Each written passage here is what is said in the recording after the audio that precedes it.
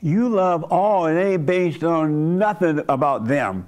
It's about you because you represent the Father, and the Father is love, and you're supposed to be the light of the earth so that the ones that are in the darkness can find their way. I even hear other people say, well, we got to go after the Jews because they didn't like Christ. That's so dumb to me. How you say stuff like that and call yourself a Christian?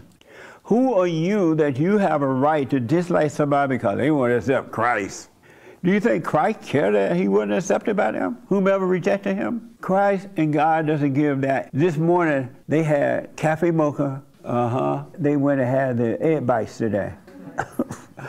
they haven't thought one time who like them or who don't like whom. They don't care about that. Why should you care? It's your job as children of the Father to love them. It's not their job to love you or me. That makes sense?